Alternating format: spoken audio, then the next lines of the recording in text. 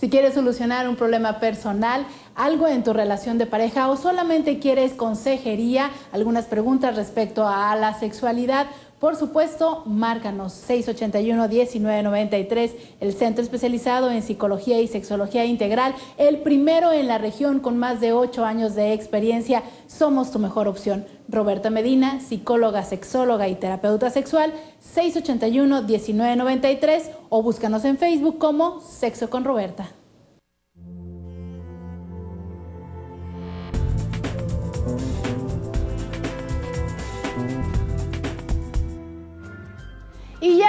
Con estas secciones que conoces tú bien. Fíjate que la nota curiosa respecto a la sexualidad de esta semana es bastante curiosa.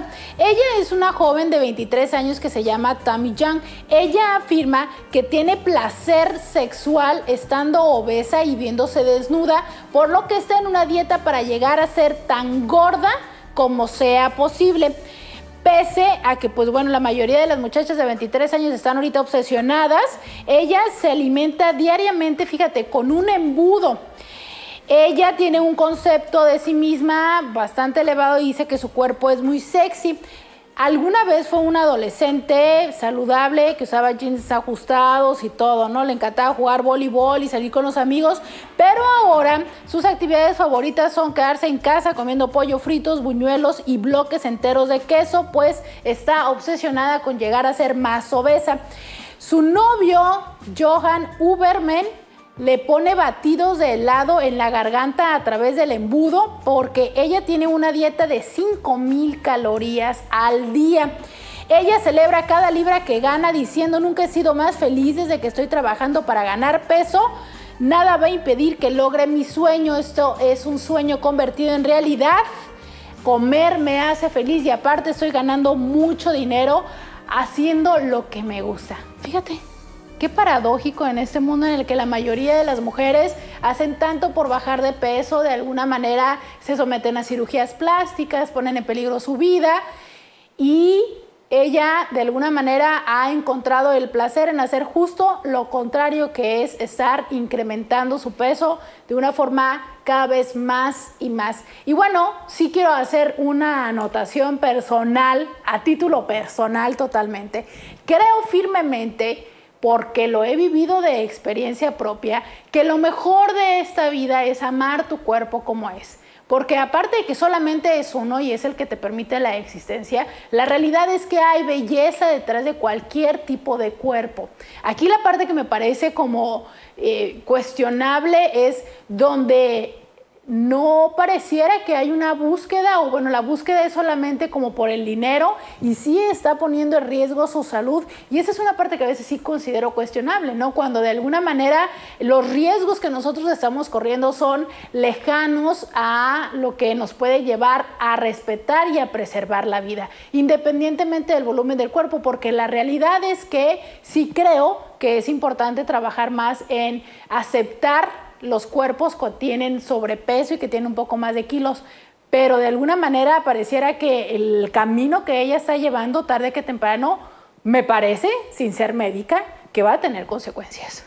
Pues está haciendo exactamente lo, mismo que hacen las otras personas que se arriesgan su vida en cirugías plásticas o que arriesgan su vida en las anorexias. O sea, finalmente los dos extremos, tanto la delgadez extrema como la obesidad extrema, te van a matar.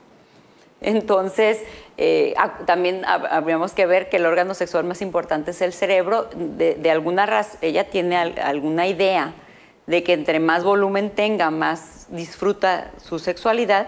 Yo creo que en ese caso definitivamente tiene que ver a un terapeuta. Claro, y, sería, me parece ideal lo que tú has dicho, ¿no? Sería en el mismo caso aquellas mujeres que aún estando delgadas o en un peso promedio, se castran su propia sexualidad por el temor a que se les vayan a ver las lonjitas o se le vaya a ver la estría, ¿no? Parece que cuando nosotros hacemos esta unión, ¿no?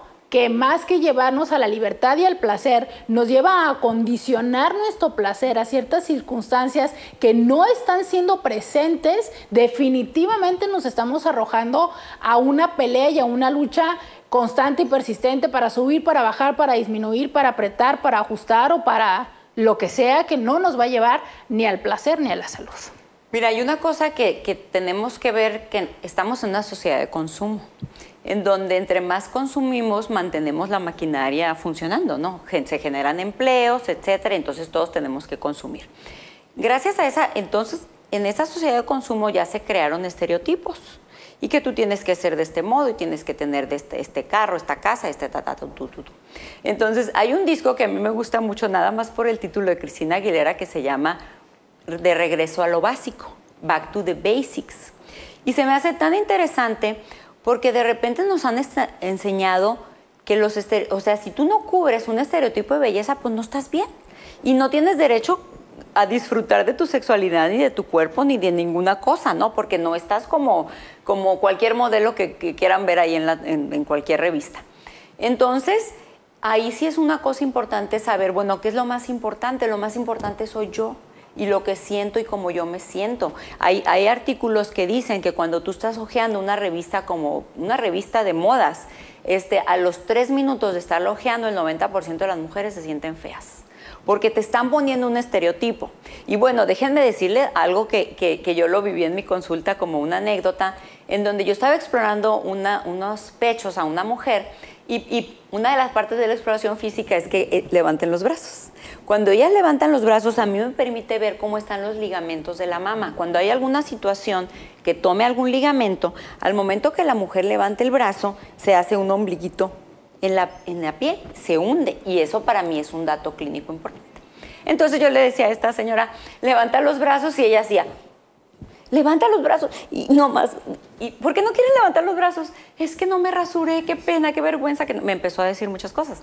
Entonces yo le dije, no tienes que pedir una, ofrecer una disculpa por ser normal. Es normal tener vellos en las axilas, que nos han enseñado que es feo, sucio, etcétera, etcétera, es otra cosa, pero eso es normal. A partir de ahí, yo tomé la decisión de dejar de pintarme el cabello.